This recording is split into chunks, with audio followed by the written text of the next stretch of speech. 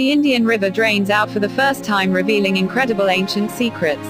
For the first time in history, a combination of drought and overconsumption of water have pushed the river in India, the Shamala River in Karnataka to its limits, revealing under its bank secrets that have shocked the archaeological community. The receding river has revealed the presence of thousands of Shiva lingas which were carved in the distant past along the river bed. The place referred to as Sahasralinga, thousand Shiva lingas in Sanskrit, has become an extremely important pilgrimage site and thousands of people visit Sahasralinga offering the prayers to Lord Shiva.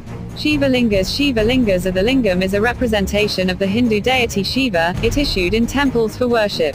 Located near Sirsi, in the state of Karnataka, Sahasralinga is one of the most beautiful places in the entire country, representing divine power and positive energy. The countless Shiva lingas discovered due to the draft are proof that there are a number of places on our planet that still hold secret of our ancestors, secrets that are slowly but surely coming out into the world, so we can hopefully preserve them adequately and pay respect to the tradition and historical value.